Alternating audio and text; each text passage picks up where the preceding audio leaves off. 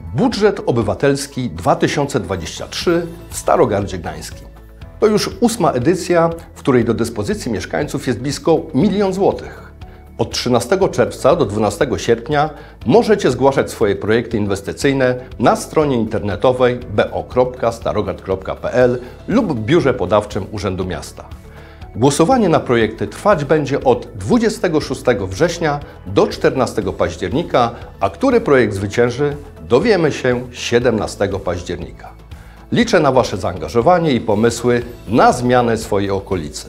Dajcie przykład innym, że wystarczy chcieć i działać, by wspólnie zmieniać nasze miasto na lepsze.